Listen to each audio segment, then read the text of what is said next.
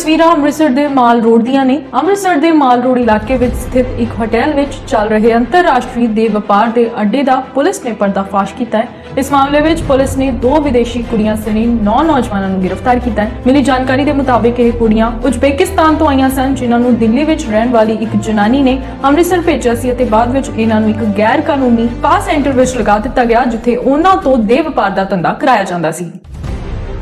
ਸਚੋ ਸਦਰ ਸਿਵਲ ਦਾ ਹੀ ਕੰਮ ਵੇਖ ਰਹੇ ਸੀਗੇ।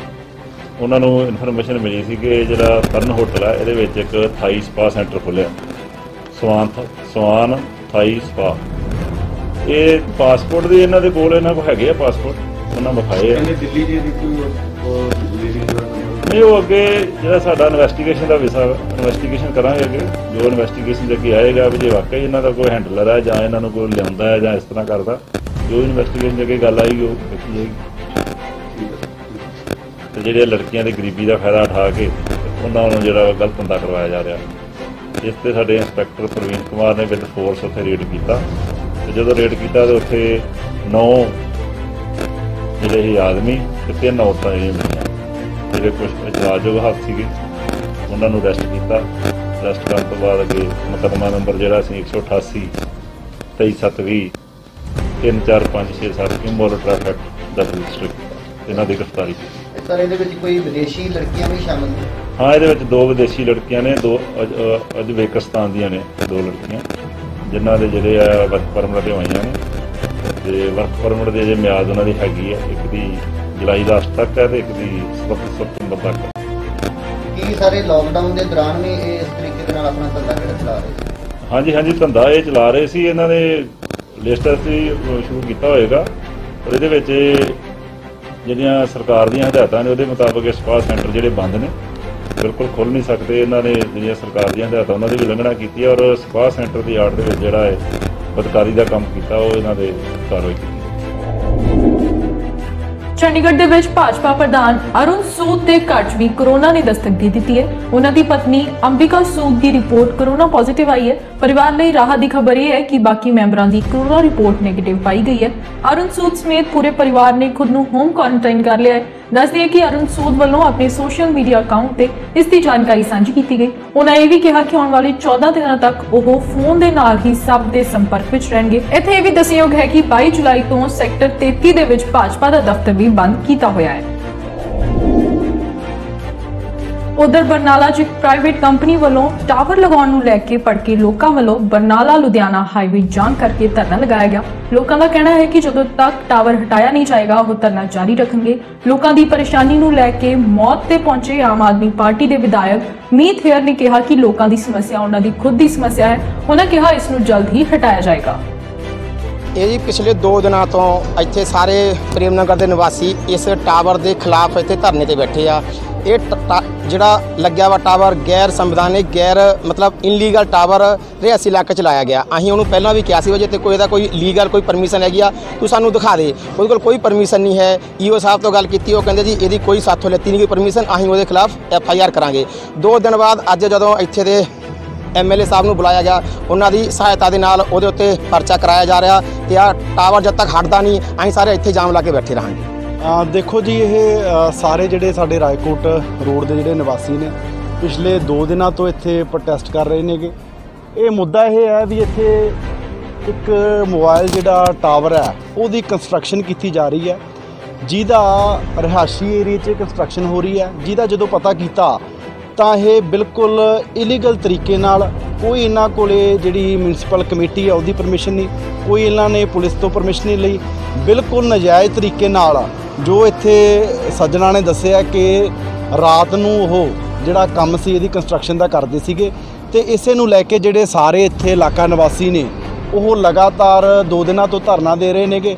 ਸੋ ਮੈਂ ਲਗਾਤਾਰ ਮੈਨੂੰ ਇੱਥੋਂ ਫੋਨ ਆ ਰਹੇ ਸੀਗੇ ਕੱਲ ਦੀ ਮੇਰੀ ਐਸਡੀਐਮ ਸਾਹਿਬ ਨਾਲ ਗੱਲ ਹੋ ਰਹੀ ਹੈ।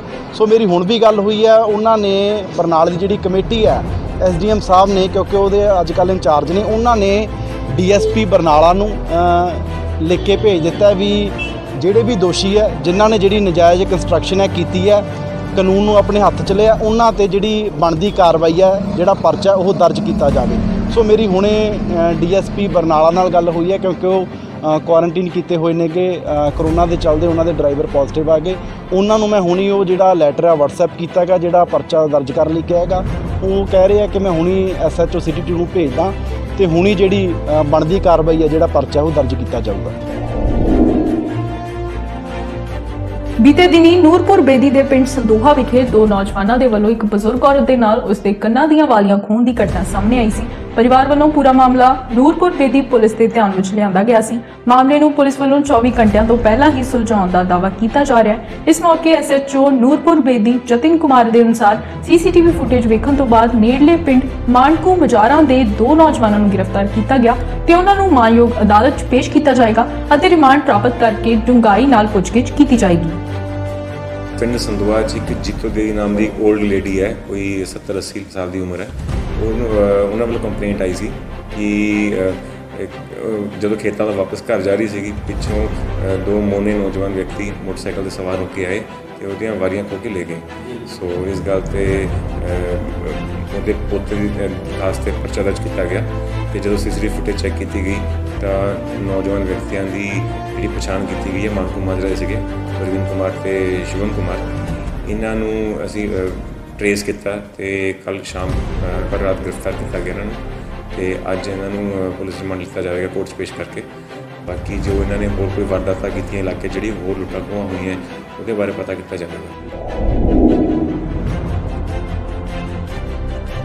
ਜੈਤੋ ਦੇ ਪਿੰਡਾਂ 'ਚ ਵਿਕਾਸ ਕੰਮਾਂ ਨੂੰ ਲੈ ਕੇ ਵੰਡੀ ਜਾ ਰਹੀ ਗ੍ਰਾਂਟ ਦੇ ਵਿੱਚ ਵਿਤਕਰੇ ਨੂੰ ਲੈ ਕੇ ਕੁਝ ਪਿੰਡਾਂ ਦੇ ਕਾਂਗਰਸੀ ਸਰਪੰਚਾਂ ਦੇ ਵੱਲੋਂ ਨਾਰਾਜ਼ਗੀ ਜ਼ਾਹਰ ਕਰਦਿਆਂ ਕਈ ਦਿਨਾਂ ਤੋਂ ਬੀਡੀਪੀਓ ਦਫ਼ਤਰ ਦੇ ਬਾਹਰ ਧਰਨਾ ਲਗਾਇਆ ਜਾ ਰਿਹਾ ਹੈ। ਉਹਨਾਂ ਕਾਂਗਰਸ ਦੇ ਐਮਪੀ ਮੁਹੰਮਦ ਸਦੀਕ ਦੇ ਜਵਾਈ ਸੂਰਜ ਭਾਰਦਵਾਜ ਤੇ ਦੋਸ਼ ਲਗਾਉਂਦਿਆਂ ਕਿਹਾ ਕਿ ਉਹ ਆਪਣੇ ਚਹੇਤੇ ਸਰਪੰਚਾਂ ਨੂੰ ਆਬਾਦੀ ਦੇ ਹਿਸਾਬ ਨਾਲੋਂ ਕਿਤੇ ਵੱਧ ਗ੍ਰਾਂਟ ਦਿੱਤੀ ਜਾ ਰਹੀ ਹੈ, ਜਦਕਿ ਜ਼ਿਆਦਾ ਆਬਾਦੀ ਵਾਲੇ ਪਿੰਡਾਂ ਨੂੰ ਅਣਗੌਲਿਆ ਕੀਤਾ ਜਾ ਰਿਹਾ ਹੈ। ਇਸ ਮੌਕੇ ਕਾਂਗਰਸੀ ਸਰਪੰਚਾਂ ਨੇ ਆਰੋਪ ਲਗਾਇਆ ਕਿ ਮੌਜੂਦਾ ਐਮਪੀ ਮੁਹੰਮਦ ਸਦੀਕ ਦੇ ਜਵਾਈ ਕੋਲ ਕੋਈ ਵੀ ਅਹੁਦਾ ਨਾ ਹੁੰਦੇ ਹੋਏ ਵੀ ਆਪਣੇ ਰਸੂਖ ਦੀ ਗਲਤ ਵਰਤੋਂ ਕਰ ਗ੍ਰਾਂਟ ਦੀ ਵੰਡ ਨੂੰ ਲੈ ਕੇ ਵਿਤਕਰਾ ਕੀਤਾ ਜਾ ਰਿਹਾ ਹੈ। ਉੱਥੇ ਬੀਡੀਪੀਓ ਨੀਰੂ ਨੇ ਦੱਸਿਆ ਕਿ ਪ੍ਰਪੋਜ਼ਲ ਅਨੁਸਾਰ ਸਾਡੇ ਵੱਲੋਂ ਸਾਰੀਆਂ ਲਿਸਟਾਂ ਭੇਜੀਆਂ ਜਾ ਚੁੱਕੀਆਂ ਨੇ।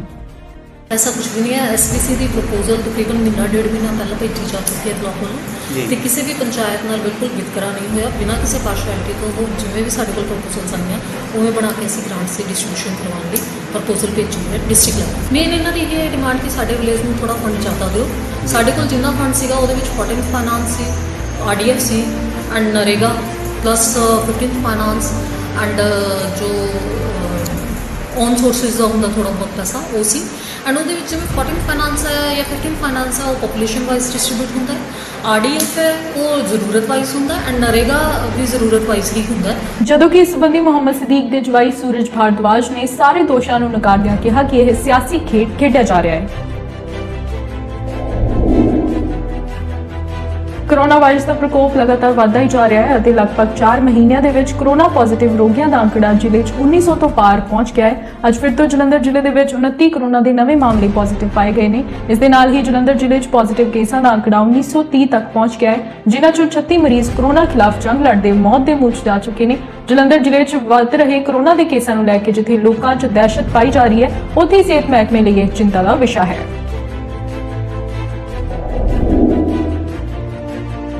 ਫਗਵਾੜਾ ਸਿਵਲ ਹਸਪਤਾਲ ਦੇ ਵਿੱਚ ਆਪਣੀਆਂ ਮੰਗਾਂ ਨੂੰ ਲੈ ਕੇ ਐਨਐਚ ਮੁਲਾਜ਼ਮਾਂ ਵੱਲੋਂ ਹੜਤਾਲ ਕੀਤੀ ਗਈ। ਇਸ ਮੌਕੇ ਮੁਲਾਜ਼ਮਾਂ ਨੂੰ ਸੰਬੋਧਨ ਕਰਦਿਆਂ ਡਾਕਟਰ ਪ੍ਰਭਜੋਤ ਸਿੰਘ ਨੇ ਕਿਹਾ ਕਿ ਉਹਨਾਂ ਵੱਲੋਂ ਸਿਵਲ ਹਸਪਤਾਲ ਦੇ ਵਿੱਚ ਲੰਮੇ ਸਮੇਂ ਤੋਂ ਆਪਣੀਆਂ ਸੇਵਾਵਾਂ ਦਿੱਤੀਆਂ ਜਾ ਰਹੀਆਂ ਨੇ, ਪਰ ਸਰਕਾਰ ਨੇ ਨਾ ਤਾਂ ਉਹਨਾਂ ਨੂੰ ਰੈਗੂਲਰ ਕੀਤਾ ਗਿਆ ਤੇ ਨਾ ਹੀ ਉਹਨਾਂ ਦੀਆਂ ਤਨਖਾਹਾਂ 'ਚ ਵਾਧਾ ਕੀਤਾ ਗਿਆ।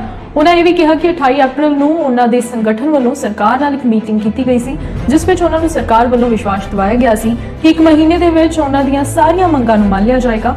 ਪਰ ਇਹਨੇ ਦਿਨੀ ਬੀਤਣ ਤੋਂ ਬਾਅਦ ਵੀ ਸਰਕਾਰ ਵੱਲੋਂ ਉਹਨਾਂ ਨੂੰ ਅਣਦੇਖਿਆ ਕੀਤਾ ਜਾ ਰਿਹਾ ਹੈ। ਇਹ ਵੀ ਦੱਸਿਆ ਗਿਆ ਕਿ ਉਹਨਾਂ ਵੱਲੋਂ ਕਰੋਨਾ ਮਹਾਮਾਰੀ ਦੇ ਦੌਰਾਨ ਫਰੰਟ ਲਾਈਨ ਤੇ ਕੰਮ ਕੀਤਾ ਗਿਆ, ਪਰ ਫਿਰ ਵੀ ਸਰਕਾਰ ਦੇ ਵੱਲੋਂ ਐਨਐਚਐਮ ਕਰਮਚਾਰੀਆਂ ਦੀ ਕੋਈ ਵੀ ਸੁਣਵਾਈ ਨਹੀਂ ਕੀਤੀ ਗਈ। ਇਸ ਦੇ ਨਾਲ ਉਹਨਾਂ ਸਰਕਾਰ ਨੂੰ ਬੇਨਤੀ ਦੇ ਨਾਲ ਚੇਤਾਵਨੀ ਵੀ ਦਿੱਤੀ ਕਿ ਜੇਕਰ ਉਹਨਾਂ ਦੀ ਮੰਗਾਂ ਨਾ ਮੰਨੀਆਂ ਤਾਂ 27 ਜੁਲਾਈ ਨੂੰ ਉਹਨਾਂ ਵੱਲੋਂ ਅਣਮਿੱਥੇ ਸਮੇਂ ਲਈ ਹੜਤਾਲ ਕੀਤੀ ਜਾਏਗੀ, ਜਿਸ ਦੀ ਜ਼ਿੰਮੇਵਾਰੀ ਸਰਕਾਰ ਦੀ ਹੋਏਗੀ।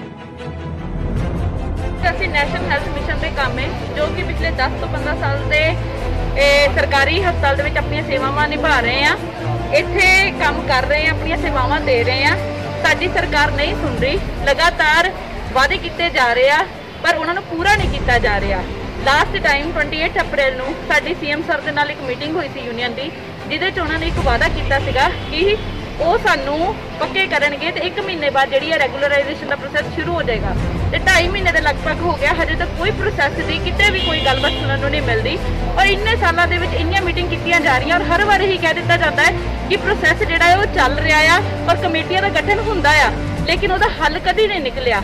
ਮੈਂ ਸਾਰਿਆਂ ਨੂੰ ਯਾਦ ਕਰਵਾਉਣਾ ਚਾਹਾਂਗੀ ਕਿ ਜਦੋਂ ਕੈਪਟਨ ਸਰਕਾਰ ਆਣਾ ਸੀਗਾ, ਉਦੋਂ ਉਹਨਾਂ ਨੇ ਵਾਅਦਾ ਕੀਤਾ ਸੀ ਕਿ ਸਾਡਾ ਹੱਲ ਕੀਤਾ ਜਾਵੇਗਾ, ਔਰ ਬਾਦਲ ਸਰਕਾਰ ਦੇ ਟਾਈਮ ਤੇ ਇੱਕ ਐਕਟ ਬਣਿਆ ਸੀਗਾ, ਉਹਨਾਂ ਨੂੰ ਪਾਸ ਕਰਕੇ ਅਸੀਂ ਤੁਹਾਨੂੰ ਪੱਕੇ ਕਰਾਂਗੇ, ਲੇਕਿਨ ਇਦਾਂ ਦਾ ਕੁਝ ਵੀ ਨਹੀਂ ਮਿਲਿਆ।